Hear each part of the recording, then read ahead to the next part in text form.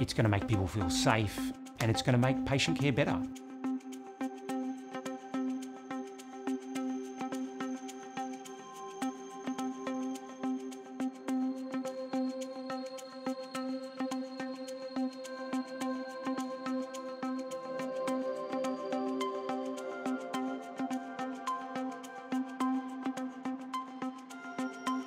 It's designed that there's a, a, physical barrier between the patient and the nurse so that when the patient is coughing or when the nurse is doing things that might increase their risk, got a fan at the back that pulls air away over the top of the patient and, and away from the nurse and then comes out with a super duper HEPA filter which is designed to clean and scrub the air from virus.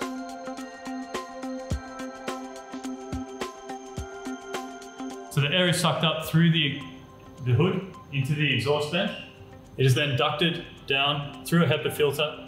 A HEPA filter is a filter that captures 99.97% of particles or droplets that are greater than 0.3 microns in diameter. So the design provides uh, safe as possible access for the healthcare worker so that the healthcare worker can uh, attend to the patient through these slits in the side. A key feature of this design is in emergency situations where quick access to the patient is required, this uh, hood can be quickly and easily pulled up, pushed away, and we can access the patient as required or push the bed away.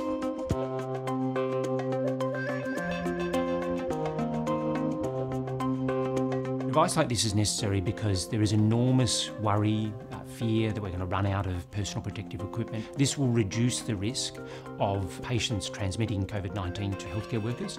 It will also allow the, the care of the uh, patient to be better than what it would otherwise be.